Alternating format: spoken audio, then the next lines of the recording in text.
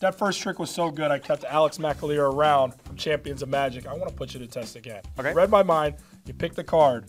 Now what do you have for me? Uh, so uh, I thought I'd try something else this time. So uh, I have a little bit of paper, a little bit of card, Okay. and it says, uh, please write any short English word. Monitors for me to look at or anything. So Hold it up. fantastic. So and also that's a thick piece of card. You can't I- see through I it or anything. proof you cannot see through that card. Fantastic. So, but so it's nice and safe. It's going to go in here. Make sure there's nothing else in there, so you're not going to swap it or anything like that, and it goes in. The aerial view. it did. What's the weather like up there? Yeah, oh, you're Uh, better than. I'll pop that right there, so you know it's nice and safe. Okay. So, uh, so you're thinking of a short word. So you can face me, and you, in your head, you're going to say this over and over again, not out loud, because that will take the challenge out. You say it out loud. Gotcha.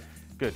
So just say it over and over again in your head for me. Just slowly, slowly, slowly. Say my say Say my word. The word, yeah, yeah, yeah. But nice and slowly, because that was very fast before. So nice and slowly. Good. Good. Could you think of um, think of a letter just somewhere in the middle of the word? Don't say it out loud. Okay, there was one, then another, like you jumped around. Uh, because there was out of my head. there, Get was, uh, there was a U, I think, and a D. Is that right? You jumped around a bit, yes. So there's a U in there and a D. Yes, yes, yes, yes. yes. me out. okay. Yes. So um, could you say say your say your first name out loud? Jordan. Good. Say it again. Jordan. Good. Say your first name, but just in your head. Good. Now say the word, but just in your head. Uh, uh, sister, uh, studio. Stop it. Is that right? As you guys Studio. saw, Perfect. it says studio. Unbelievable. You're freaking me out. One, Alex, one more, one more. Just one more. So um, I think I can probably tell you how I'm doing this one a little bit as well. You might need both your hands free, but I can hold that for you if you like. So this is a game I used to play. I used to play it with sweets when I was a kid. You might know the game. Sometimes you play it with money. So you take some money or some sweets. Someone takes it behind their back. They hide it in their hands, and you have to guess which hand it's in. You do, do you know sure, that game? I, I remember that one. Play with my son all the time. Yes. No longer works. He's 10 years old now.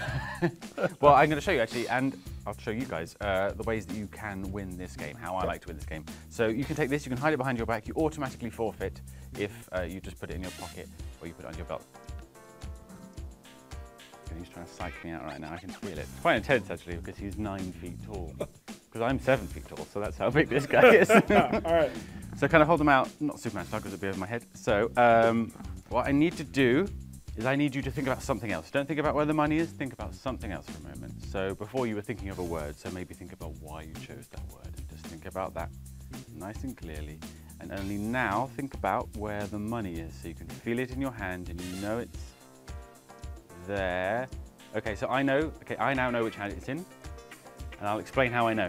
So uh, you could probably tell I was feeling your pulse. Yes. And when you distract someone for a moment and you bring their attention back and they think of a hand, the pulse changes slightly. And it was nice and strong on this one. I think you put the money there, is that correct? Show me. This one? There we go. Good time.